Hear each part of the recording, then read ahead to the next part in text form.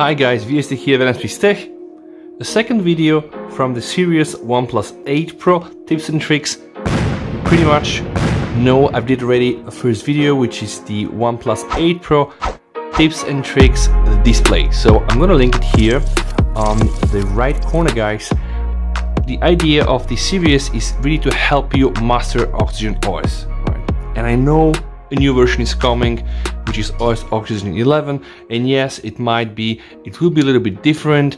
It might look a little bit like Samsung One UI but still you know it is Oxygen OS so mastering Oxygen OS 10 will help you also understand Oxygen OS 11 which is coming for I think the latest OnePlus devices. Alright this time we want to talk about home screen customization tips right? So very important guys. First thing we covered was the display and then of course after you have mastered the display and all the settings related to the display, you might want to start customize your phone and of course you will start with the home screen. So how can you fit more apps on the home screen?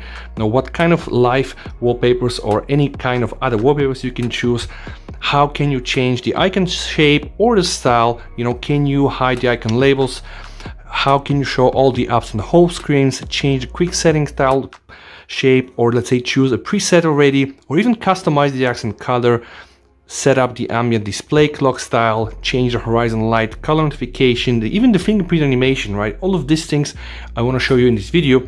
So if you know some of these things, still you are more welcome to watch the full video. Right, so how can you fit more apps on your home screen, right? So guys, what you need to do is just go to the home screen settings. So you just have to long press somewhere and then you can go to home settings, right? And then of course there is gonna be a setting called home screen setting. Now in this case, because I'm using OnePlus 8 Pro, I have the latest launcher, it's called home screen layout. So from here, apparently you can go and change the grid. So you can go 3x5 or 3x6, right? Also, you can go icon size, choose small icons, medium icons, or even, you know, if you want to go, you can go with big icons, right? And also up names, like I told you, you can apparently change the names, like removing them already. Like if I press hide up names, I will have no up names. Actually, I'm gonna show you guys. I'm gonna go now and change all to big icons. And I'm just going to apply settings. And now, right now, I have a very clean and unified custom look. No, I only know what apps I have, no names. Now, if you want to revert this, of course, you need to go back here, home screen layout.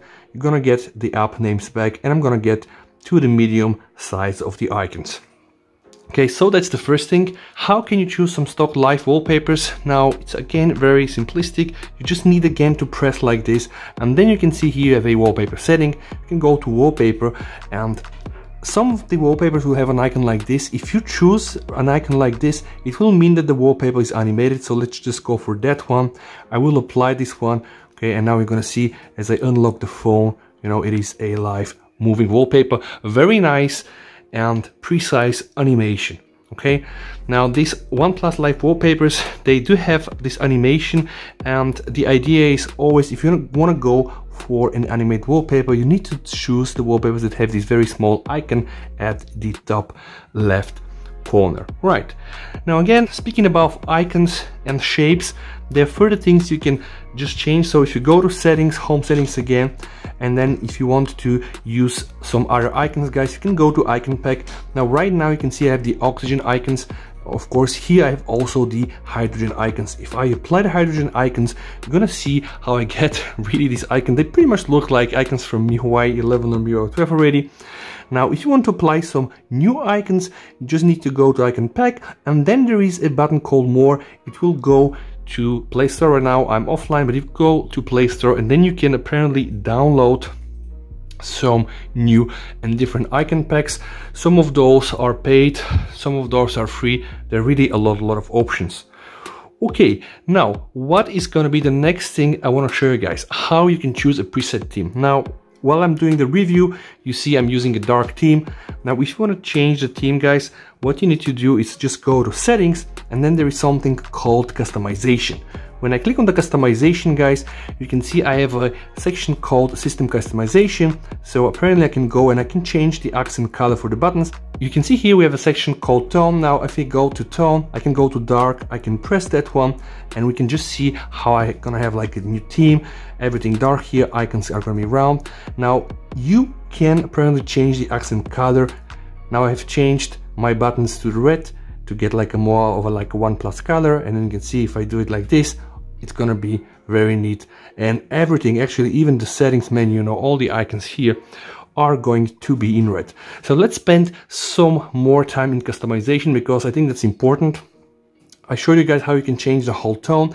I showed how you can change the accent color, but there are more than things. So we can apparently change the icon pack from here. It's the same like we did already from the home settings, but you can also change the system icons. So if you click on system icons, now you can go with round ones, which is currently my choice, or let's go with teardrop ones.